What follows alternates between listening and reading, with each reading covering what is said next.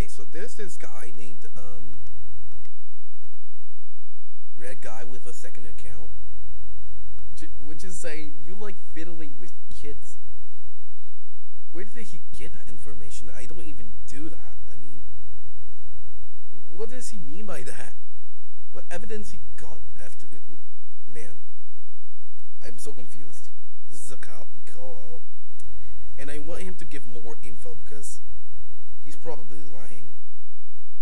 Never fiddled any kids.